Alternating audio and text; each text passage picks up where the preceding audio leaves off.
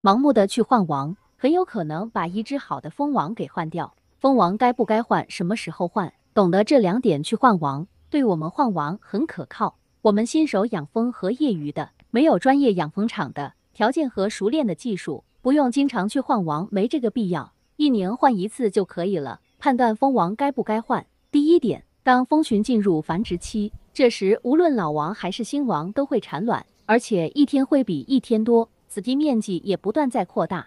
而那些在繁殖期爱产花子或者是雄蜂蛹的，则需要更换掉。第二点就是弱群，有的蜂群发展不起来，并不是蜂王的问题，而是蜂群弱，老蜂多，提供不出蜂王所需要的蜂王浆。有的弱群，你把群势补壮起来。或者是给蜂王换个中等群势，慢慢蜂王的肚子就膨大起来，产子成片。两批以上的群势有足够的青壮年蜂，就能提供更多的蜂王浆，才能完全发挥出一只蜂王的高产效果。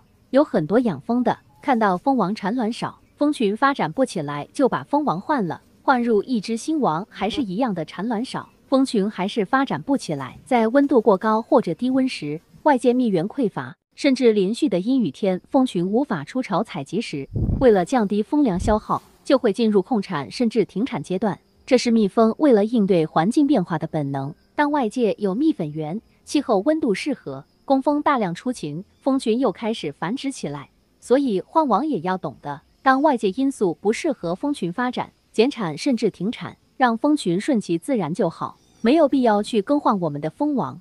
这期视频分享到这。点个红心，谢谢您的支持。